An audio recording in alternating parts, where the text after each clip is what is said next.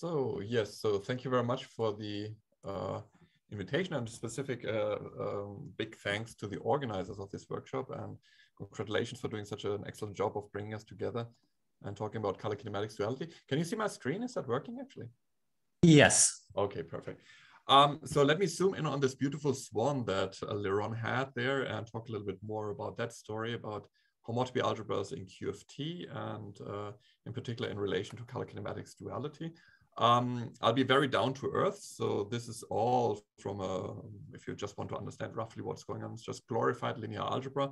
And um, I'll, I'll, be very down to earth. So for mathematicians, a warning, I won't be 100% rigorous for pedagogical reasons, but I think you can still get something out of it.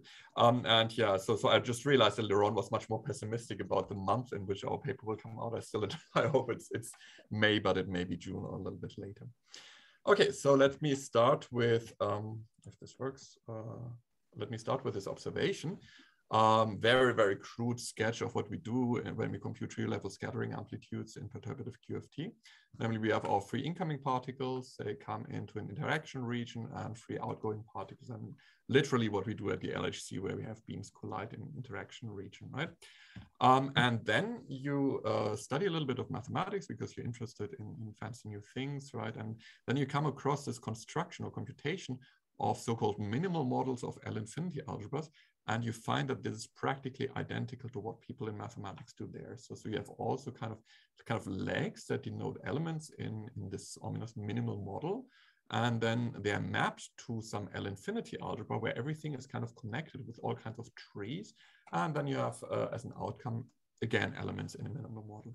And then if you study this a little bit further, then you find that there's a very natural link between both descriptions. And this link is given by the Batalin-Vilkovisky formalism. Um, and this provides now the exciting uh, perspective that uh, if you have any structures on top of scattering amplitudes, any mysterious phenomena that you observe within scattering amplitudes, that you know that this should be essentially a homotopy algebraic refinement of the original L infinity algebra, right? So whatever you find, if this has a systematic thing in there, it should fit within this homotopy algebraic framework. And therefore there's strong mathematical constraints on this. And this helps you to identify what's going on and identify structures. And I'll show you in particular the example of CK duality. And we saw already quite a bit in, in Leron's previous talk. Okay, quick outline. I'll summarize uh, what, what L infinity algebras actually are. Um, every L infinity algebra comes with its own field theory, if it's cyclic, or also when it's not cyclic, actually, which is called homotopy Maurer-Cartan theory. And I'll review that. And then I convince you, hopefully, that every field theory that you know is actually a homotopy Maurer-Cartan theory. I review a little bit homotopy algebras and related technology, but mostly with uh, a few of examples and applications in QFT. So I'll show you that there's really a lot of technology that you can take from mathematics and carry over onto the QFT side. Then the main thing that people may be interested in in this workshop is, of course, color kinematics duality and then the BV box and BV box infinity algebras or homotopy BV box algebras. And I'll, if I have enough time, I'll uh, have a quick comment also on the double copy and a few uh, comments on the loop level. Already heard a question before on this. Okay, so from Lie algebras to L infinity algebras, Lie algebras are usually used to describe symmetries. L infinity algebras also describe symmetries and higher symmetries, but they're even a little bit richer. Um, so how do you get to them? So Lie algebra is a fairly harmless object. Everybody knows that, right? We have a vector space G, and then we have a Lie bracket that's antisymmetric and satisfies the Jacobi identity. And for convenience, particularly as physicists, we often introduce a basis so that we have structure constants and so on. So, and this is quite helpful here for making the link to L infinity algebra. So let me also introduce basis. Um, so there's a dual description, which is known in the mathematical literature as the Chevalley-Eilenberg algebra. And this works as follows. You start from the dual vector space, so the linear functionals on your original vector space, and you shift it in degree by minus one. And this is uh, the mathematician's notion. I mean, because we dualize, effectively it's a shift by plus one. So the, the notation, the shifts and degrees and signs in the story are a little bit problematic, but once you get used to that, um, you can deal with this, right? So uh, there's a dual vector space, G1 star. And on this vector space, we introduce a basis. And because uh, the elements in this are of degree uh, one, so, so it's the basis. And the bases are essentially coordinate functions on the original space shifted by one. And now what we want to do is we want to write down the most general vector field of degree one on the original shifted space. Right? So we have this coordinate function. So what's a vector field?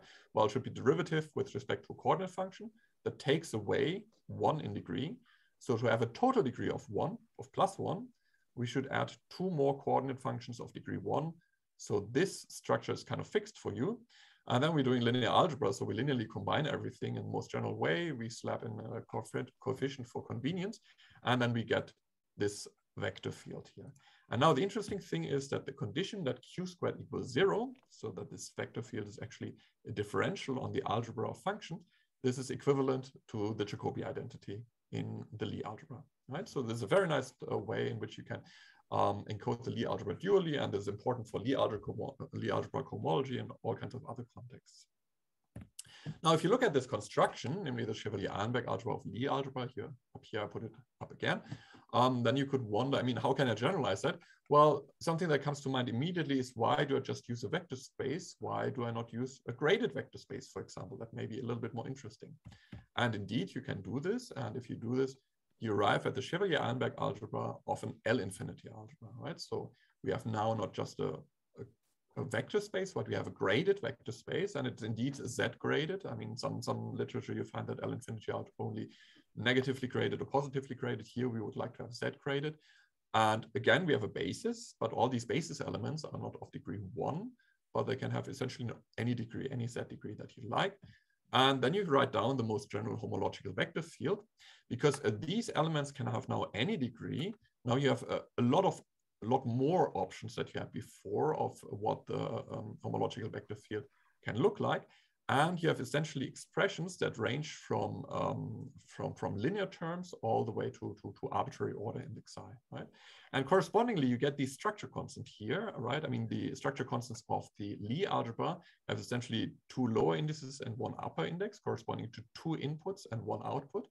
We preserve the property that we would just want to have one output, but we have now arbitrarily many inputs, right? So, so in particular, if one, two, three, and so on inputs. If you want, there's also generalization for zero inputs, but we'll always have at least one input here. Okay, so dually to this homological vector field, just as we had up here, the structure constants defining a Lie bracket, we have now this more general structure constants that we obtained just by replacing a vector space by a graded vector space.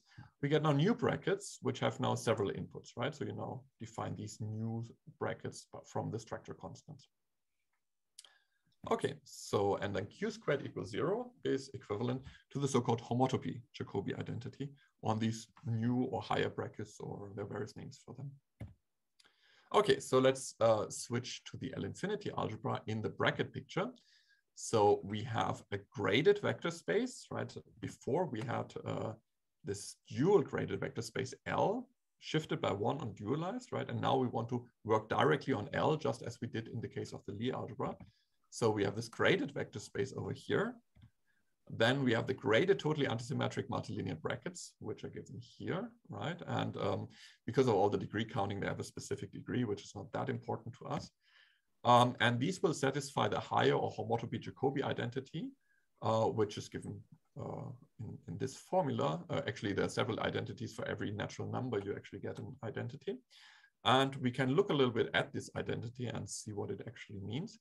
So you see it's a quadratic relation just as for the Lie bracket for the Jacobi relation, which also has always two nested uh, Lie brackets. And we have the same here. We have two nested higher brackets. Um, so first of all, for n equals one, if you specialize to this case, you see that the uh, homotopy Jacobi identity just reads as mu1, mu1 equals zero. So mu1 is a differential. And therefore, our graded vector space is turned into a complex, which is very nice because for complex, we have all kinds of technology. We have quasi-isomorphisms, we have uh, cohomology, and so on, and we'll use all of that. For n equals 2, if you work out what these relations are, you see that it implies that um, mu1 is actually derivation with respect to mu2. So it just distributes as a Leibniz rule as you would expect. And for n equals, um, uh, where are we, 2? for n equals 3, actually what we get is we get the Jacobi identity on the left-hand side, but the Jacobi identity is not uh, valid on the nose, but it's valid up to um, a violating term, and this violating term is exactly a cocycle, right? So, so this is essentially it's violated by homotopy, and this is where the name of all this comes from. The important thing, it's violated in a very controlled way, And this product mu3 together with the differential gives you control about how it's violated.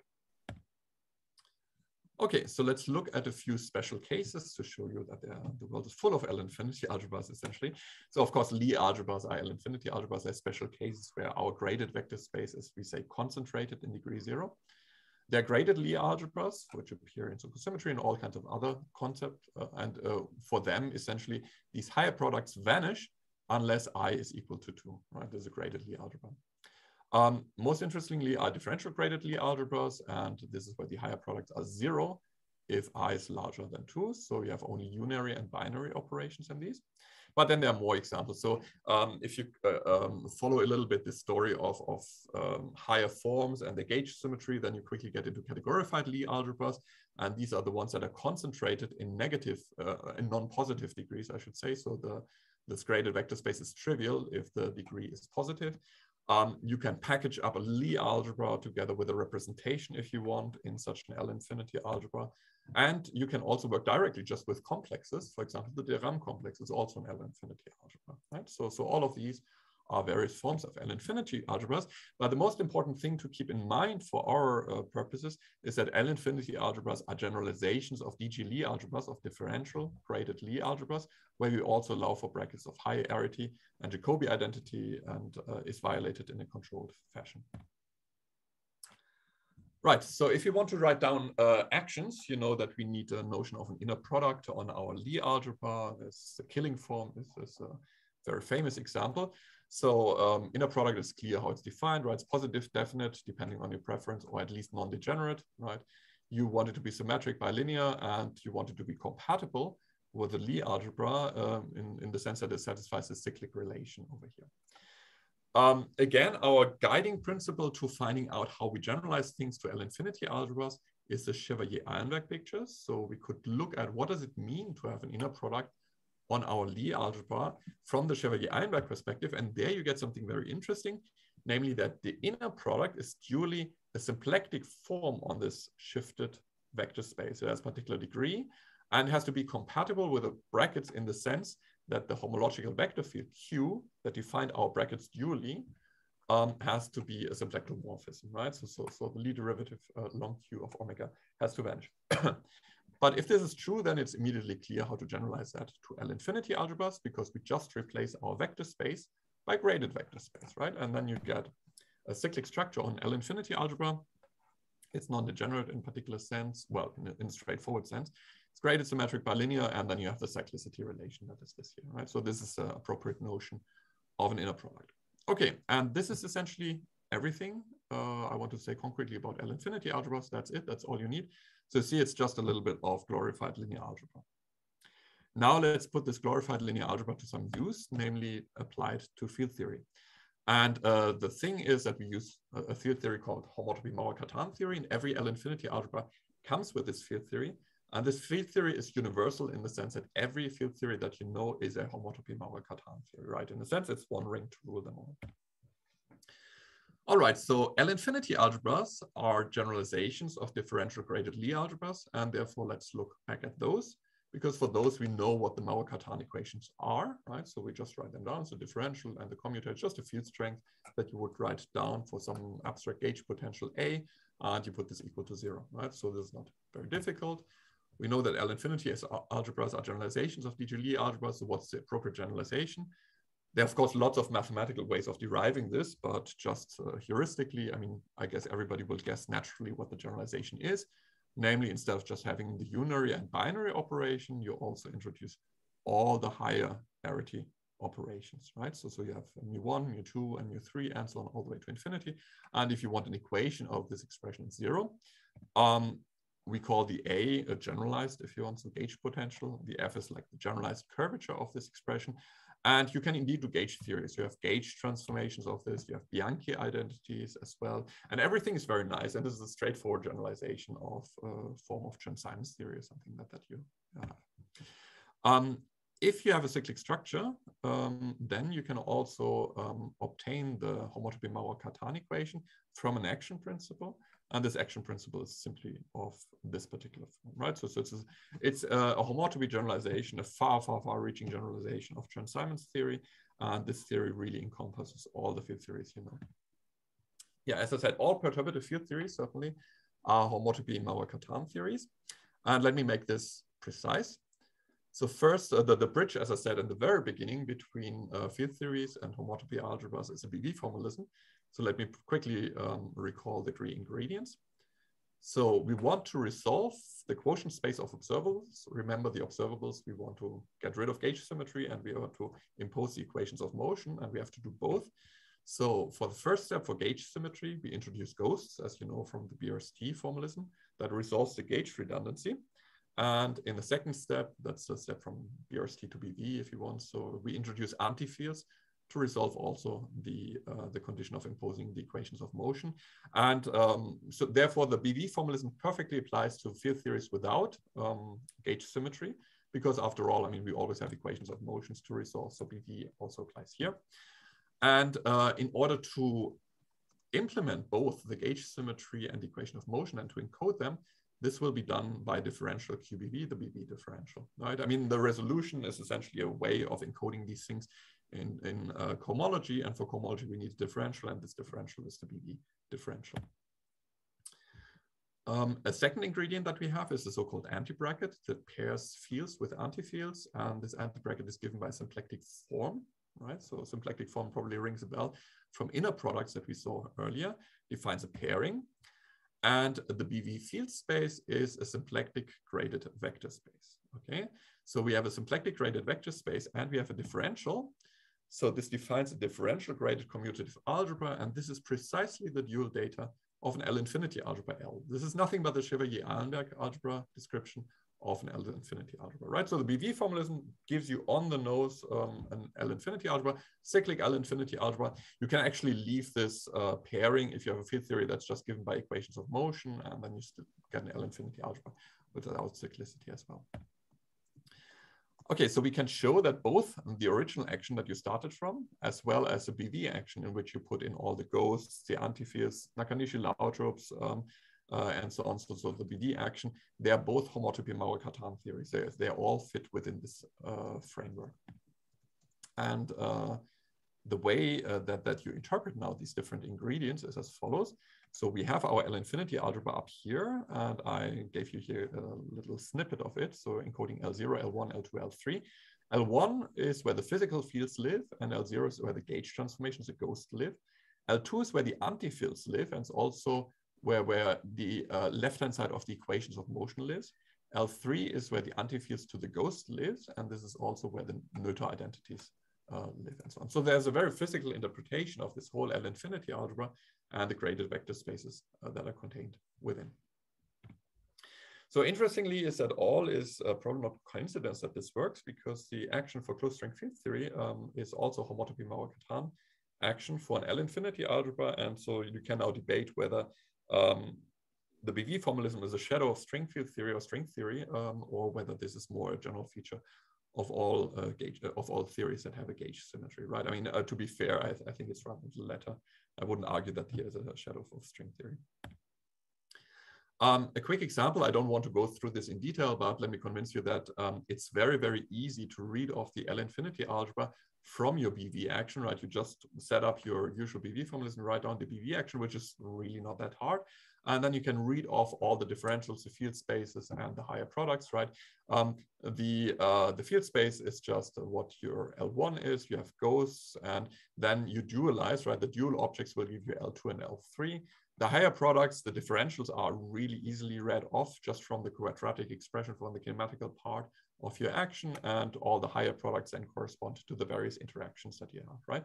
For example, mu3 of AAA just gives the quartic vertex of a gluon, right? Because remember this mu3 will be paired with an additional A in the homotopy Maurer-Cartan action. So a quartic expressions encoded in mu3. And then you can show that the homotopy Maurer-Cartan action, where you just put the, the gauge potential, the generalized gauge potential, where you identify this with the gluon field, is the Yang-Mills action. And that there's a trick where you essentially put in a superfield, which consists of uh, ghosts of um, the gluon field of the antifield to the gluons and the antighost, then you get the BV action and you can incorporate Nakanishi Lautrup field and antighost as well. That's not a problem, right? So every field theory that you have really fits within this framework. And uh, that's very nice because we can now put this to some use. Right, so let me talk a little bit more about homotopy algebras and the applications to physics. Um, and the idea is here that this framework, which is sometimes um, also called abstract nonsense, which is this field consisting of high category theory, homotopy algebras, operads, and all these modern mathematical tools, um, it really puts everything into perspective and orders everything. It tells you where everything should be, what should work, what shouldn't work, and so on. So this is a very convenient framework if you want to uh, make conjectures about how things should actually be before you verify them. So L-infinity algebras are homotopy Lie algebras, and as Leron already suggested, um, a good way of looking at homotopy Lie algebras are these operads. Um, I don't want to go into details what they actually are, but think of them as things that have n incoming and one outgoing legs. There's generalizations that also relax this condition, but let's work with these.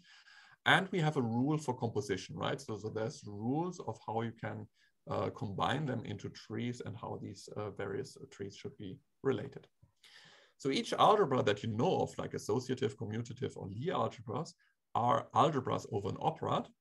And for each operad, we have something, of most operads, we have something called Koszul duality, which um, is a duality operation, so an involution. If you apply it twice, you go back to where you started from. Uh, and the Koszul dual uh, of the associative operad is associative operad. The Koszul dual of the Lie operad is the commutative operad. And now if you would like to construct homotopy algebra, there's a simple prescription. Um, there's, a, there's a little bit more detail on the mathematical side, but essentially you do the following. You take your algebra, you take the Koszul dual, you take the differential graded version of that, and then you take once more the dual, and then you have the homotopy algebra. Let me show you the example. L-infinity algebras we saw, they're so-called homotopy Lie algebras. So they are dual to differential graded commutative algebras, right? The Lie operad we take the Koszul dual. The Koszul dual of the Lie operad is a commutative algebra operad. We take the corresponding differential graded algebra, right? So differential graded commutative algebras, and they are the dual thing to the L-infinity algebra because differential graded commutative algebras are nothing but the Chevalley-Eilenberg algebra that we encountered before of our L-infinity algebra with the differential being the um, Chevalley-Eilenberg differential, in the case of field theories being the BV differential. Correspondingly, you can easily define A infinity algebras, homotopy associative algebras, they're dual to DG as uh, algebras. And then we have also commutative C infinity algebras, homotopy commutative algebras, which are dual to differential graded Lie algebras. Right? So, so in this way, you define all kinds of homotopy algebras, and there are many other operads that you can introduce for Leibniz algebras. Uh, Leron quickly flashed the EL infinity algebras that we defined last year. So, so um, you, you can construct all kinds of algebras and then correspondingly the homotopy algebras of them. So what is all that good, right? I mean, there's a lot of abstract nonsense, as is uh, justifiably called. Uh, so, so, what is that good for you? Uh, why, why should you be interested in? Well, first of all, we have strong and useful mathematical results. So we have a lot of structure, for example, as tensor products, which will become important. We have notions of morphisms and equivalences. We know when two homotopy algebra should be considered mathematically equivalent. And usually this is also the appropriate notion at the physical level. Then we have uh, powerful theorems about homotopy algebras, which are relevant in, in what comes.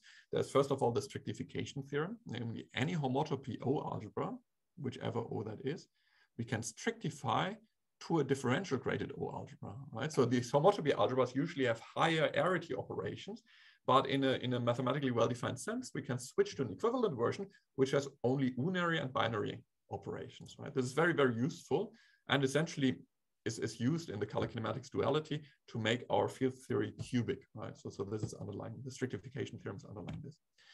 Then there's the so-called minimal model theorem, and that tells us that any homotopy O algebra is equivalent to a homotopy O algebra on its cohomology. Remember that homotopy O algebras have a complex differential complex underlying it. We can compute its cohomology, and then any homotopy O algebra is equivalent to that in particular sense. Again, as you probably remember from the first slide, this is relevant to uh, compute tree-level scattering amplitudes. This is nothing but the minimal model theorem. And finally, there's the homotopy perturbation lemma or homotopy transfer if you want, which is a recursive construction um, that, that tells you how you get an equivalent homotopy algebra starting from equivalent differential complexes. Right? So, this is a very powerful tool, so uh, which, which allows you in particular to construct the minimal model theorem. Okay, so, so there's a lot of abstract nonsense, but now let's put it to some use. All of this has interesting consequences, applications to field theory. First of all, we have uh, a very, very simple operation, namely color stripping in Yang-Mills theory, right? I mean, you all know that in the amplitudes business, we, we often like to color strip because that allows us to separate the kinematics from color in the Yang-Mills amplitudes. And uh, this has a, a, the following equivalent uh, formulation in terms of homotopy algebras. We factorize the Lie algebra of the field theory that we're interested in, for example, Yang-Mills theory, into a color Lie algebra and a C infinity algebra that describes the kinematics of Yang-Mills theory, right? So this is nothing but a homotopy algebraic generalization of being able to take the tensor product of a Lie and a commutative algebra. So if you think a little bit about how you can do that, uh, commutative algebra and Lie algebra always gives you a Lie algebra, right? And this is just a homotopy algebraic generalization, okay? That's not particularly difficult, of course, but it's nice that you can't just do that at the level of amplitudes, but you can do that at the level of L infinity algebras, and in particular at the level of actions, and you can do that consistently. So another thing is strictification, and I already mentioned that, uh, what it means for us. Namely, uh, sometimes it's simpler to argue about field theories that have only cubic vertices. And from a homotopy algebra perspective, that's strictification, which is guaranteed by the strictification theorem. We have a construction algorithm available. That's also not too difficult. And this is, of course, what you use in color kinematics duality, when we want to parameterize the scattering amplitudes in terms of cubic vertices. So effectively, there's an underlying field theory that has only cubic interactions, right? And this is guaranteed to exist by the strictification theorem. Another uh, perspective is, of course, the string theory. Uh, you can rewrite in terms of cubic interactions, right? And um, again, this is not surprising that any field theory should be derived from something with purely cubic interactions if you think a little bit about the strictification theorem. All right, so now let's come to homotopy transfer, which allows us to take one L infinity algebra structure and construct an equivalent L infinity algebra structure from it. Recall that any L infinity algebra, as any homotopy algebra actually, has an underlying differential complex. And um, if to perform homotopy transfer, what we do is we start from two quasi-isomorphic complexes. That means just that there is a chain map between the two differential complexes that induces an uh, iso um, isomorphism on the corresponding cohomology with respect to differentials, right? So, so there's a well-defined structure that you start from. For physicists, what you can think of is that these are just free theories. You have uh, theories where you don't have any interactions, right? And it's very easy to see whether two such theories are equivalent or not. And then you consider all the higher products that encode the interactions as perturbations. And this allows you then a recursive prescription of how, um, how you have higher brackets induced also on L prime. So you really transfer the higher brackets, everything above the differential from L to L prime by recursive prescription. So applications of this is first of all that you can very, very uh, quickly construct field theories that are quasi-isomorphic or in physical parlance that are semi-classically equivalent. That means that they have the same tree level uh, S matrix. Um, for um, this other complex that you start from the minimal model, so if the differentials are all trivial, you recover the minimal model itself. And in particular, if you work out of how these higher brackets are constructed, it is nothing but the tree level Feynman diagram expansion that we know from quantum field theory, right? I mean, this is literally the same thing. There's no difference whatsoever in the computations that you perform. The only difference, of course, that you work with infinite dimensional, that's not a difference, complication that you work with infinite dimensional vector spaces. And uh, I should stress that this is tree level, right? However, if you introduce another perturbation, which is motivated by the BV formalism, so this delta is essentially the BV Laplacian, a dual of it that creates a field and anti-field, uh, allow, allowing you to form loops in your trees. Then you also get the loop level Feynman diagram expansion. You have to go a little bit beyond L infinity algebras. There you work with a loop or a loop L infinity algebras. So all of this is really, really nice and powerful. For example, you can use the recursive prescription that we obtain in this homotopy transfer to prove that there are Berends-Giele recursion relation. You, you, may know them. I mean, they, they were very popular in Yang-Mills theory. They underlie or they, they contributed to the proof of the MHV relations. And these really exist for any field theory and also at loop level, right? In the original paper, this was just Yang-Mills theory at tree level. But this recursive prescription is essentially the generalization to all field theories at loop level. All right, so let's conclude a little bit uh, what we saw so far. Um, first of all, we had a Feynman diagram expansion, and we show that this is equivalent to computing a minimal model. So what is that good for? Well, first of all, it's now very, very easy in principle to explain to a mathematician what we are actually doing in quantum field theory, because you can just, just say, well, a field theory is essentially an L-infinity algebra, compute its minimal model, right? And if you're the mathematician you're to is an algebraist, they may actually know what, what's going on. Uh, they just need to ask their analyst to make sense of all these infinite integrals and then everything's fine, right? But there, there's now a, a, straightforward way in principle how to explain scattering amplitudes and all this to mathematicians. More interesting for us is that we can now study scattering amplitudes through homotopy algebraic lens with all the benefits. Um, very, very nice and hopefully helpful also to the amplitude community is that um, I, well, I mean, as an as an outsider, I always had a little bit this uh, perspective that there seem to be uh, seems to be a little bit of the divide between people using amplitude technology and people coming from an action principle. But what L-infinity algebras actually do for you, they put both on equal footing, right? I mean, remember that the action is given by an L-infinity algebra, and the amplitudes, at least at tree level, are also given by an L-infinity algebra, namely by a minimal model of this L-infinity algebra, and both are quasi-isomorphic equivalent, right? I mean, this framework really puts action and amplitudes um, on equal footing. Structure of amplitudes should be reflected in homotopy algebraic structures or refinements of the L-infinity algebra that uh, describes our um, field theory. Yes, and um, after concluding this, let me switch now to color kinematics duality and the double copy, probably the most important uh, application of homotopy algebra, certainly for this workshop here. Um, okay, so Leron has already given a nice introduction to color kinematics duality, so I don't have to say too much. Let me just highlight um, the most important points. So we have a field theory that has a symmetry Lie algebra G, that's a general starting point. And we say that this theory is CK dual if its tree level amplitudes can be parameterized by cubic Feynman diagrams in a particular way, namely in such a way that the kinematical numerators that you obtain in these Feynman diagrams have the same algebraic properties as the G or color factors, right? I mean, this is what we mean by color kinematics duality, right? I mean, this is tree level color kinematics duality comments about loop level at the very end then. This has been proved for Yang-Mills theory, as you all know, and uh, there's also the so-called double copy, which is a lot of um, kind of the key motivation for studying CK duality, certainly. Um, if you have a CK dual field theory and you have the amplitudes in CK dual form, you can replace the color factors with a second copy of the kinematical numerators, and then you obtain double copy of the original field theory, right? And again, uh, it's known that in Yang-Mills theory, you get something that is semi-classically equivalent to n equals zero supergravity, semi-classically equivalent, meaning that they share the same tree level scattering amplitudes, right? But more details you saw already in Leron's and certainly also in Johannes' talk.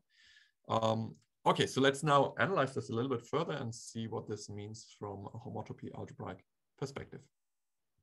Yeah, because um, after all, abstract nonsense clarifies also everything. It orders everything, but here I think it also clarifies quite a few things.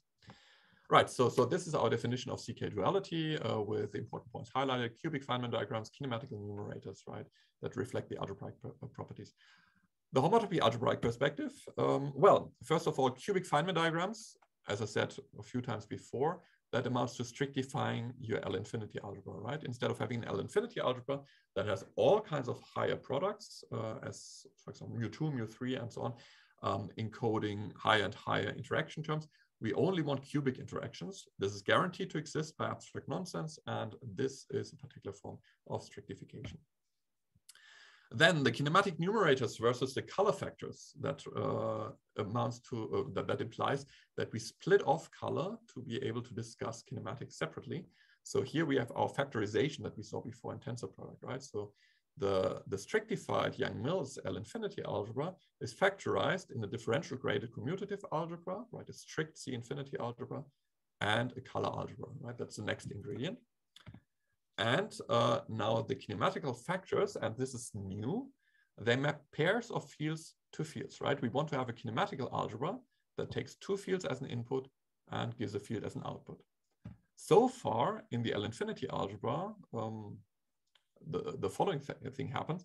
We have a map of degree zero and it takes two fields, which both have degree one in our L-infinity algebra. Remember L1 is a space of fields takes two elements of degree one and maps it into an element of degree two, which is an anti-field, right? So this this kinematical map that we have, the kinematical Lie algebra that we expect the binary bracket there, is not part of our L infinity algebra. So there's a new map. It should have degree minus one.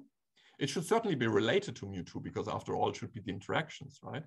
But it's not there yet. So we have to homotopically, homotopy algebraically refine the L infinity algebra. All right, so, so we are on our way towards BV box algebra. So let's give a little bit more motivation of what we actually want. So we want a bracket um, that is related to our bracket mu2 of degree zero that is of degree minus one.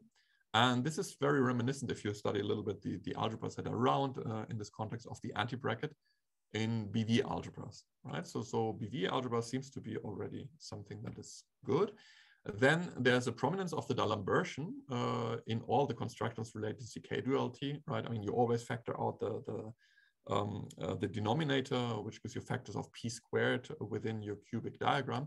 So um, the box should actually feature prominently. And um, then we have a particular structure of our complex. Namely, we have here the fields in degree one, we have the anti-fields in degree two, we have our mu1 or differential that maps f into the antifields.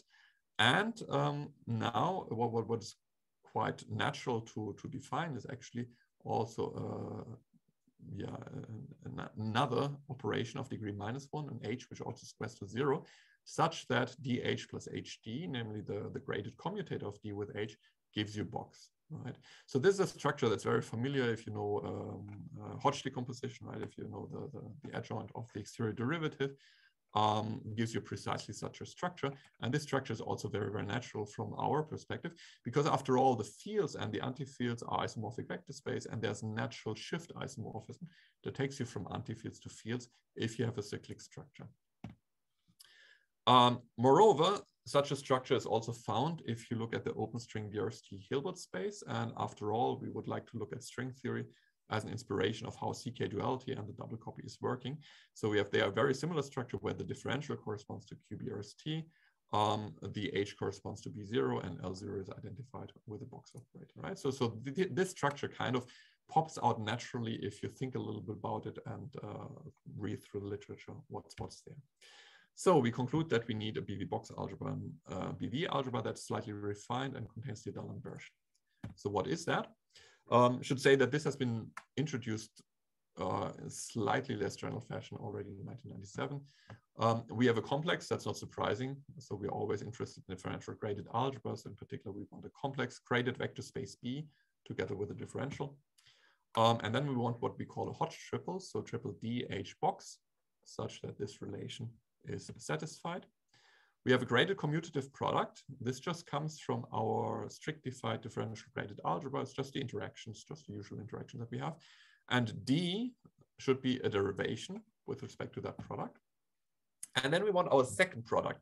And the second product is not the interesting thing because that will encode the kinematical Lie algebra. Right? So we have the second product. It's of degree minus one, and it's completely defined in terms of the structure that we introduced so far. Namely, it's just here we have the usual commutative product, which is given by the interactions, and we have our additional map H, which is given here, right? So the second product is defined in this way, and for consistency, we expect it to satisfy this version of uh, the Poisson relation, essentially, right? So the second product is actually, if you want, mathematicians sometimes call this a Poisson bracket of degree minus one or Gerstenhaber bracket, right? Then there's additional technical stuff, which I skip over here because it's boring and doesn't uh, contribute much to uh, what's, what's going on. And now we can have an interpretation. So first of all, remember that we took our strictified L infinity algebra and we split off color. That is uh, what we have the C, the differential graded commutative algebra C strict. Um, the theory now is CK dual if this differential graded commutative algebra can be extended to BV box algebra, right? So, so this structure you have always, you always have a, a differential graded commutative algebra for strict field theory after splitting of color.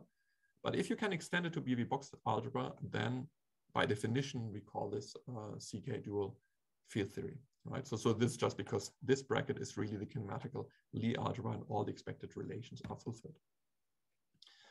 Right, and uh, the subset, namely the, the, the, B strict together with the differential and together with the commutative product really form the differential graded commutative algebra C strict in B strict. and uh, what is very, very interesting if you're looking for what how to define abstractly the kinematical Lie algebra is that the, the elements in B1, so in the graded element 1 in the strictified case, together with this bracket, which maps elements in B1, pairs of elements in B1 to an element in B1, is what people would call the kinematical Lie algebra, right? So this is all part of the BV box algebra. BV box algebra actually clarifies for you what the kinematical Lie algebra for a CK dual field theory is. All right, so the conclusion that we have is a field theory in manifestly CK dual form can be color stripped to a differential graded commutative algebra, which, and this is the condition of being CK dual, can be enhanced to BV box algebra. And examples are biadjoint scalar field theories that you know the zeroth copy of Yang-Mills theory and Chern-Simons theory is also an example of that. You get a very natural BV box algebra um, essentially, Chern-Simons theory is incredibly natural because it's just a BV box algebra that arises on the de Rham complex of, of your, your space-time manifold if you if you add um, uh, the the uh, the adjoint of the exterior derivative, right? So so there's essentially just one structure that's a BV box algebra for Chern-Simons theory. Right, but now let's look at a little bit of a more general CK duality because um, Yang-Mills theory is certainly not of this form. Yang-Mills theory is not a strict L-infinity algebra. We have seen that there's a mu3 product and it doesn't fall within this. So how would you know whether Yang-Mills theory is actually CK dual or not from mathematical perspective, right? And how do you use it? Well, for that, we have to um, split off color as we usually do, right? Here we have an L-infinity algebra, split off color, and you get a C-infinity algebra left over. And usually what we now would do is we would take the C-infinity algebra and strictify, right? We would introduce all the Tolotti-Weinzierl terms and then strictify so that we get a CK dual differential graded commutative algebra and we do our usual test. But we can do the inverse operation. Instead of extending the strictified um, differential graded commutative algebra to a BV box algebra, we forget about strictification, work directly with C, and demand that C can be extended to BV box infinity algebra, right? So in a sense, you have a commutative diagrams of operations, right? I mean, usually we would go from C to C strict and extend it to a strict BV box algebra, BV box algebra. But here we, we save ourselves the, the, the complication of strictification and just say, well, the C infinity algebra can be directly extended to BV box infinity algebra, right? So we have we have a box algebra. There's an operad underlying. You can construct the Koszul dual of that if you want to go through all this. Um, and you can construct what uh, axiomatically BV box infinity algebra is. And then we can phrase mathematically really what it means for field theory to be CK dual. So field theory with an L infinity algebra that factorize like this into a color Lie algebra and a C infinity algebra is CK dual exactly if this C infinity algebra extends to BV box infinity algebra, right? And I should say, um, already gave credit to Michael Reiterer, um, uh, that the crucial insight that these are the right algebras is actually due to him and um, yeah, I mean, so, so so our work is just refining and and uh, uh, concretifying what what he already outlined in a very specific case for Yang-Mills theory at tree level. Okay, but this is still not the most general setting, I would say, for where one should consider CK duality, uh, for the simple reason that uh, not all theories have a color factor, right? So in a most general framework in which you can discuss the syngamies that um, Leron talked about, we would also like to see n equals zero supergravity as a CK dual field theory because we can split it off into two factors and we can combine it with a color factor to recover Yang-Mills theory in a syngamy, right? So how do we see that n equals zero supergravity has a particular special form? Well, for this, you really have to work a little bit harder. So we can regard a color algebra also as a BV box algebra trivially, and then we can define a generalized tensor product between BV box algebras, BV box infinity algebras, which is actually inspired by um, string theory consideration. And then CK duality in this most general framework actually amounts to factorization of the L infinity algebra of our field theory, not in color times C infinity, but into a special tensor product of BV box infinity algebra, right? This is the most general framework I think that, that one can um, use for CK duality. Okay, yeah, I'm short on time. Let me quickly summarize the advantages. Well, first of all, we have a clean mathematical definition of what CK duality is, at least at tree level. And we have a clean definition of what the kinematical algebra is. And uh, computing this BV box infinity extensions is actually not too hard. So there's an algorithm how to construct them. Once you have the BV box infinity algebra, as uh, Leron already pointed out, you have very clear interpretation of the steps rendering an action manifestly CK dual. So you know what blowing up vertices is semi-strictification. You know what the Tolotti-Weinzierl terms are, namely their particular products. You know what the CK duality relations are, namely particular homotopy relations that appear in your BV box infinity algebra, right? All of this is now getting directly homotopy algebraic interpretation. And uh, you can see if, if that, that has some advantages. We claim, at least in our current draft of the paper, that we have some evidence for computational advantages, but um, yeah, we'll have to see if this pans out. Uh, we should also say that this, of course, involves the whole BV complex. So our notion of CK duality is uh, a notion at the level of the BV action. It incorporates ghosts, anti-fields, and we get fully manifestly CK dual Feynman rules ultimately. There's an explicit link to string field theory, which is always good if you believe that string theory is underlying everything.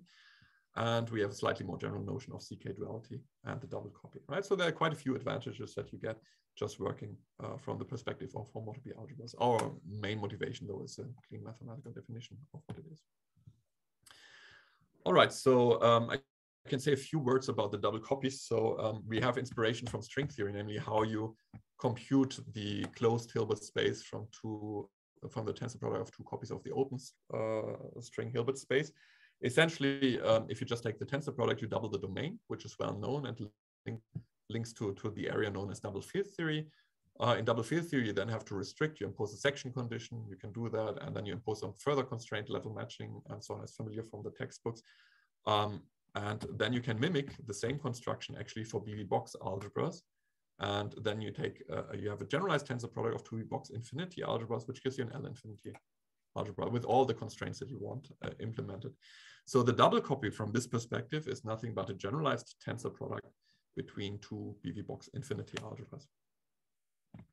Okay, so um, last slide before I conclude, um, comments on the loop level. So what about the loop level? All of this, all of what I talked about certainly valid at the tree level. Um, but our constructions are based on the strictification procedure, right? Whenever I said, okay, we have strictified field theories, we have blown up all the vertices, uh, we use strictification. If we say we can do the inverse operation of saying instead of comparing a strictified theory to BV box algebra, we compare the original theory to BV box infinity algebra, then we also invoked strictification. So what is strictification physically? Well, it's semi-classical equivalence, which means equivalent tree level and S matrix. But um, the strictified actions, the, the L infinity algebras that are related by strictifications, are actually related physically by field redefinitions. So you, you rotate your field content. You can also integrate in and out fields. That's also permitted in this strictification, right? So, so it's really semi-classical equivalence. But if you perform field redefinitions and you have a path integral measure around in your discussion because you do uh, quantum computations, then of course you get Jacobians. And some of these Jacobians are harmless because they're just essentially amount to one in dimensional regularization, so you can, can drop them. But um, from our computation, we see that some of them are not so harmless. So these, these harmless field redefinitions are not sufficient for our purposes. At least there's no reason for us to believe that they are sufficient. And therefore, we get additional counterterms from the Jacobians and unitarity is broken. And the question is now, and this is a big question, essentially, is this a problem for our intents and purposes? So, I mean, uh, most of the amplitudes communities are, uh, of course, very, very keen to work with unitarity methods and uh, the proofs of the double copy are based on unitarity. All this is not directly relevant for our uh, for, in our construction. We don't encounter many problems that amplitudes people face by working with unitarity methods. However, the question is whether the statements that we can extract by working semi-classically uh, and with the counterterms are good for what you want to use the double copy for, right? So um, what we have is we don't, we certainly know that the counterterms exist. That's not a problem. And they're reasonably well under control. So we think that we can identify them well in explicit computation. Also, we are closer perhaps to string theory origin of CK duality because these structures that we presented, in particular BV box algebra structures, are there in string theory. And now the question is, which of the properties would you rather preserve? Do you want the BV box algebra to be preserved when you go from string theory to field theory? Or would you like unitarity to be preserved, right? And what is ultimately the thing that shows you um, which is suitable for uh, what you want the double copy to use for, for example, in particular, studying the ultraviolet behavior of supergravity, right? I mean, this is ultimately the question whether you like the extension to loop level or not. Everything else is actually working. We have this algorithm that uh, Leron presented, that's all fine. And then you can also use this homotopy algebraic perspective that we have to um, remove the qualifier that we work at loop level and really work uh, that we work at tree level and really work at loop level, right? But it depends what you want to do with these things. Sorry. Yeah. Sorry, Christian. We are out of time. Sorry, yeah, we are really out of time. Okay, right, right. right. Sorry, uh, yeah, my, my, my, clock seems to be a little bit slow, but yeah. Okay, summary is essentially that we used these homotopy algebras and that we had a lot of insight into the structure of amplitudes and CK duality amounts to BV box algebras. Thank you very much. Thank you very much, Christian. Questions?